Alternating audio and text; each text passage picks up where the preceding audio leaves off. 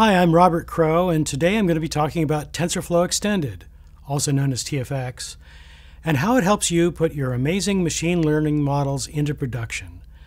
This is episode four of our five part series on real world machine learning in production. We've covered a lot so far in episodes one through three, so if you haven't seen those yet, I'd really recommend watching them. In today's episode, we'll be talking about distributed processing and components. Let's get started. Let's talk about the components that come standard with TFX. But before we talk about the standard components, let's talk about Apache Beam. To handle distributed processing of large amounts of data, especially compute intensive data like ML workloads, you really need a distributed processing pipeline framework like Apache Spark or Apache Flink or Google Cloud Dataflow. So several of the TFX components run on top of Apache Beam, which is a unified programming model that can run on nearly any execution engine. Beam allows you to use the distributed processing framework you already have, or choose one that you'd like, rather than forcing you to use the one that we chose.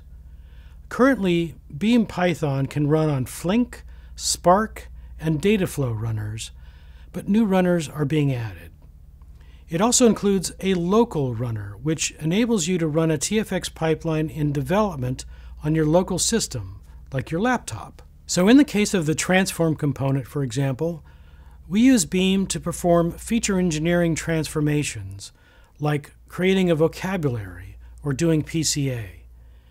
That could be running on your Flink or Spark cluster, or on the Google Cloud using Dataflow, or, because it uses Beam, you could migrate between them without changing your code. In the case of the trainer component, we're really just using TensorFlow. Remember when all we were thinking about was training our amazing model? That's the code we're using here. Note that currently TFX only supports 1.x models and TF estimators. In the case of some components, we're really only writing Python. The pusher component, for example, only needs Python to do its job. So, when we put all these together and manage it all with an orchestrator, this is what it looks like.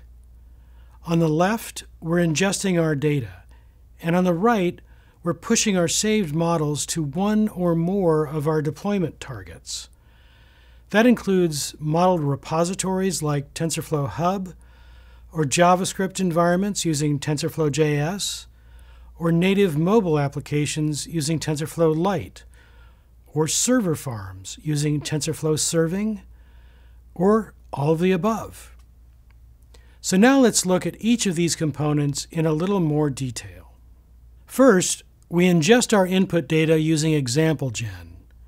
ExampleGen is one of the components that runs on Beam. It reads in data, splits it into training and eval, and formats it as TF examples. This is what the configuration looks like for ExampleGen. Very simple, just two lines of Python. Next, we have StatisticsGen. StatisticsGen makes a full pass over the data using Beam one full epoch, and calculates descriptive statistics for each of our features. To do that, it leverages the TensorFlow data validation library, which includes support for some visualization tools that you can run in a Jupyter notebook. That lets you explore and understand your data and find any issues that you may have. This is typical data wrangling stuff, the same thing we all do when we're preparing our data to train our model. Here's a better look at the visualization tools. Right away, we can see that we might have a problem with our trip start hour feature at 6 a.m., where we don't have a lot of data to make predictions. Our model's performance at that time of day might not be so great unless we go get some new data. Our next component, SchemaGen, also uses the TensorFlow data validation library. It looks at the statistics which were generated by StatisticsGen and tries to infer the types for each of our features, including the range of categories for categorical features. We can adjust the schema as needed, like adding new categories that we expect to see. Our next component, Example Validator, takes the statistics from StatisticsGen and the schema, which may be the output of SchemaGen or the results of user curation, and looks for problems. It looks for anomalies, missing values, or values that don't match our schema, and produces a report of what it finds. Remember that we're taking in new data all the time, so we need to be aware of problems when they pop up. Transform is one of the more complex components and requires a bit more configuration as well as additional code. Transform uses Beam to do feature engineering, applying transformations to your features to improve the performance of your model. For example, Transform can create vocabularies or bucketize values or run PCA over your input. The code that you write depends on what feature engineering you need to do for your model and data set. Transform will make a full pass over your data, one full epoch, and create two different kinds of results. For things like calculating the median or standard deviation of a feature, numbers which are the same for all examples, Transform will output a constant. For things like normalizing a value, values which will be different for different examples, Transform will output TensorFlow ops. Transform will then output a TensorFlow graph with those constants and ops. That graph is hermetic, so it contains all of the information you need to apply those transformations and will form the input stage for your model. That means that the same transformations are applied consistently between training and serving, which eliminates training serving skew. If instead you're moving your model from a training environment into a serving environment or application and trying to apply the same feature engineering in both places, you hope that the transformations are the same, but sometimes you find that they're not. We call that training serving skew, and Transform eliminates it by using exactly the same code anywhere you run your model. Now we're finally ready to train our model, the part of the process that you often think about when you think about machine learning. Trainer takes in the transform graph and data from transform and the schema from SchemaGen and trains a model using your modeling code. This is normal model training, but when training is complete, Trainer will save two different saved models. One is a normal saved model that will be deployed to production, and the other is an eval saved model that will be used for analyzing the performance of your model. The configuration for Trainer is what you'd expect things like the number of steps and whether or not to use warm starting. The code that you create for Trainer is your modeling code so it can be as simple or complex as you need it to be.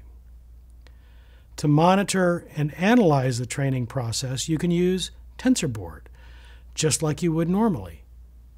In this case, you can look at the current model training run or compare the results from multiple model training runs. This is only possible because of the ML metadata store, which we talked about in our last episode. TFX makes it fairly easy to do this kind of comparison, which is often revealing. Now that we've trained our model, how do the results look? The evaluator component will take the eval saved model that trainer created and the original input data and do deep analysis using Beam and the TensorFlow model analysis library. It's not just looking at the top level results across the whole data set. It's looking deeper than that, at individual slices of our data set. That's important because the experience that each user of our model has will depend on their individual data point. Our model may do well over our entire data set, but if it does poorly on the data point that a user gives it, that user's experience is poor. We'll talk about this more in our next episode. So now that we've looked at our model's performance, should we push it to production? Is it better or worse than what we already have in production? We don't want to push a worse model just because it's new. So the model validator component uses Beam to do that comparison using criteria that we define to decide whether or not to push the new model to production. If Model Validator decides that our new model is ready for production, then Pusher does the work of actually pushing it to our deployment targets. Those targets could be TensorFlow Lite if we're doing a mobile application, or TensorFlow JS if we're deploying to a JavaScript environment, or TensorFlow Serving if we're deploying to a server farm, or all of the above. So now hopefully we've given you a basic understanding of TFX and ML pipelines in general, and some of the issues around putting an ML application into production. And remember, TFX is open source. We want you to help contribute to making TFX better. In our next episode, we'll look at a real world example of why analyzing model performance is important to your business. For more information on TFX, visit us at tensorflow.org/tfx. And don't forget to comment and like us below, and thanks for watching.